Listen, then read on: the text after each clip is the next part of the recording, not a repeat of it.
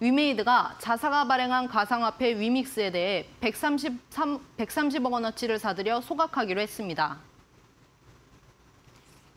위메이드 위믹스 팀은 오늘 위믹스와 위믹스 클래식에 대해 천만 달러 규모의 바이백과 소각을 진행한다고 발표했습니다.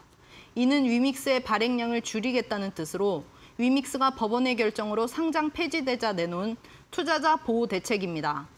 기간은 오늘부터 내년 3월 8일까지 90일 동안이며 세계 위믹스 상장 거래소 등에서 시간 분할, 균등 주문 방식으로 진행됩니다.